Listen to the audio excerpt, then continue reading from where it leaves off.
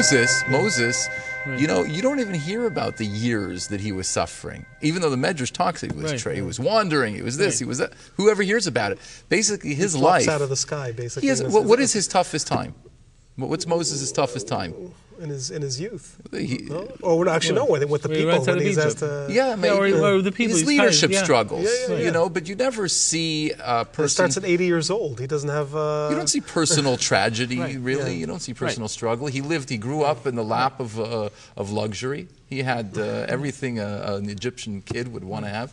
Okay. But, but the thing also with David HaMelech, this is this is what makes this is what I think people lose sight about. it. David HaMelech is perhaps a greater concept of what the Mashiach is about because it is Ben David Hamelech. A lot of people make the mistake, and that, and this is one of the tensions in the Rambam's perception of the Mashiach. It is a human Mashiach. That's the Right. whole point of it, in the sense that in humanity you find the, the, the, the, depths of godliness. And the fact is, is that we're not talking about moving, we're talking about in the family, in the relationship between husband and wife, in, in, in, in romance, in, in, in, in eh, how you relate to your kids, and, and how you, you know, go on a vacation or so forth. There's a certain way of being a human being. And yet, th- that humanity does originate with the, the very divine uh, relationship that Moshe has with God. Like you're saying, I mean, But get he back to leaves this idea. humanity. Yeah, no, but th- get back that the, the idea that the Mashiach is the actualization of that, right? So it Yeah. begins it begins with a very it's very intense God uh, godly relationship and ends up with a human a human which, actualization which of that. explains right? the travel of history, and the, Right, the, right, the right. concept of history, Yeah. that it starts with Moshe Rabbeinu, who's not human, who who's leaves humanity to, f to bring the divine to humanity, Right, that's right. and moves towards Mashiach, right. who who wants to raise humanity So Moshe is really- human it was beings. really in a it's two sense- directions. Yeah. Moshe's bringing it down. Right. And, uh, and uh, history is the experience of, uh, of, of seeing the worst of the worst. And, and uh, David HaMelech represents that idea of, uh, of bringing that Torah into that place and bringing it up again and elevating it up. And Mashiach is the ac- actualization of that concept. It's a full circle. Is it's there- really is back there- to Moshe. You know what? Is there a sense in which Moshe's career, in fact, has Mashiach as its target? His very career, and I'm thinking actually that you know, the, the, just before he loses his life, right? His his last wish is, can't I have a little bit of what we've been we've been working for, right? That's we've right. we've been living in a desert for 40 years, living on man, something pure heaven You know- food. it's not real. There's no there's no material reality to it. And then just when he's on the board, he says, "Look, I'd like now we're about to enter material, the materialization, literally, of the Torah. Can I see some of that?" And, I- and Hashem says, "You know what? like you're saying, it's not your And- uh, job and what it description. Yeah, it's very- It's not your job It It description. says over your there, job had is Moshe finished. gone into the land of Israel, that's it, game over. History's done. But- Right, so, so- he couldn't. He couldn't. Oh, so, He Because so it to was that not- history could unfold. It would Yeah, not, that's right. and, and it wouldn't have been a successful result of history. See, Yeah. there's an interesting perception. You mentioned the fact that, that the the uh, Midrashim point to the fact that Moshe was separated from his wife, and Miriam critiques him on that. And then you see the Torah responding by saying, you know, Miriam, Moshe is special, and so forth and so forth. But the, the, the question is, so is Moshe the ideal? Was that really the ideal?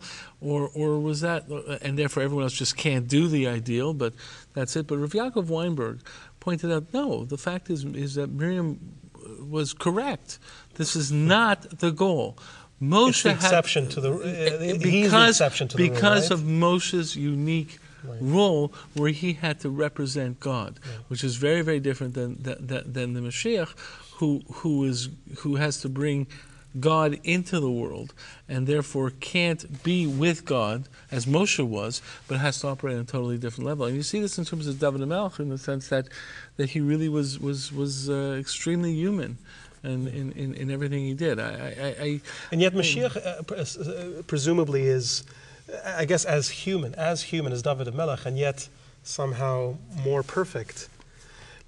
What would that mean? Like, is he more? Is he like David Melech with a little bit of Moses in there, a, little bit, a little bit more Moses, or what is David he? HaMelech, right? yeah, the- David Melech squared. I mean, what, Yeah, how right. is he? Uh, I think he's, he's a further product of history. You see, one of the interesting things happens is, is that you look at the Torah ideal.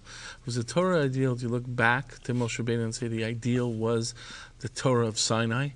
Uh, where, well, obviously on a certain level it was, but was that the ideal practice of the Jew, or the ideal practice of the morality of Torah, or is there, or is it the starting point that human beings are to get involved and to move further? This is an issue that emerges, let's say, the question of slavery, where the Torah really still permitted slavery. So the point is, is the ideal that really there is a level of slavery now. We don't think anything of slavery, but the fact is, is there is some kind of permitted level of slavery, or is it the fact that the Torah is a starting point, and we are supposed to go through that process and we actually ex- extend it beyond Sinai? Um, So, so, the same ideals question of with the sacrifices, for example. Example. Right? I mean, uh, where the Right. sacrifice is really meant to be there. Uh, it- that, that, that becomes more. That, Let's go back to your yeah. question just for a second. So Yeah. you're asking, so in what sense is the quality of Mashiach different than David? And Yeah. David had it all, right? Right. And you said a nice point. You said, but he's further along in history. So Mm-hmm. it seems to be that um, uh, he, it's almost like he is at the right time at the right place, right? Mm-hmm. He's at the end. And uh, I don't know, but something in history comes. There's some, you know, he must be tuned in. That's, that, he must be tuned in to that generation, you know, uh, that is, that is uh, of the messianic generation. He must be tuned in to the suffering of this entire generation. That that's what it must be. So he whatever, also- we I say don't know if there's that anything. David Melech's shortcomings would have been as a result of his generation. It's not. No, not I to, think, uh, we don't a want to say it wasn't I his think fault. there's the a things he did, developmental but, aspect uh, over here. I think there's a developmental aspect over here. Yeah. History is a place where we develop.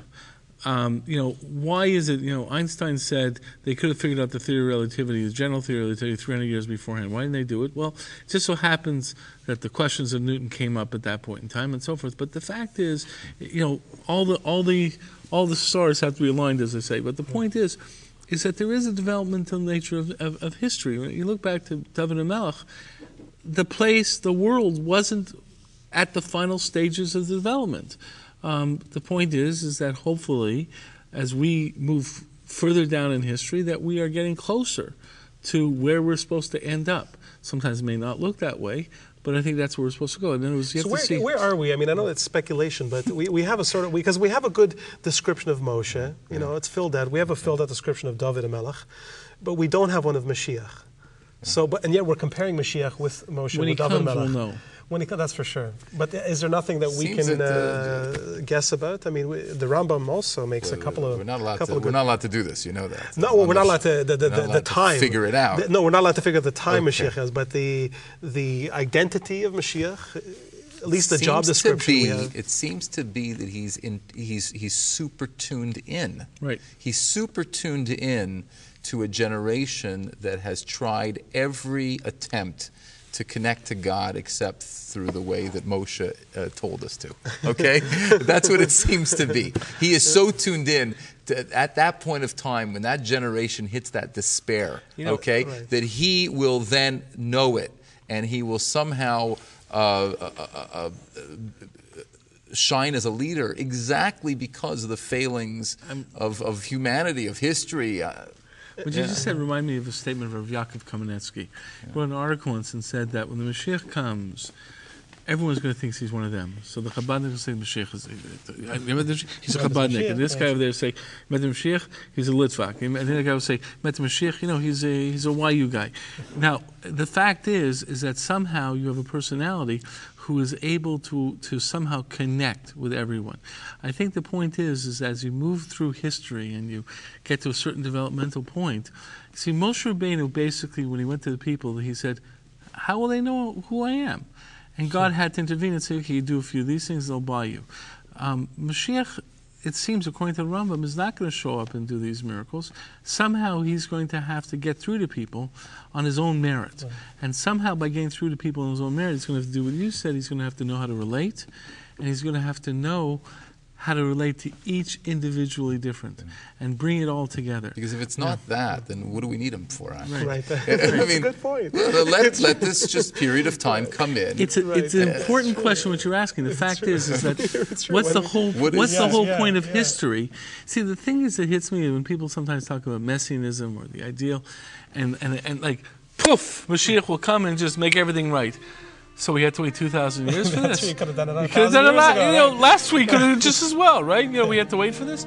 Something there's obviously a point to all this, and and and that's what you were saying. The fact is, is that at some point in time, the way I've always seen him is almost like an orchestra conductor, in the sense that the great weakness that exists sometimes in, in, in, in the world is the fact that we want everyone to play the exact same instrument in the exact same way. And all of a sudden, you're going to have this, this, this orchestra conductor say, hey, I can make I can make it a symphony.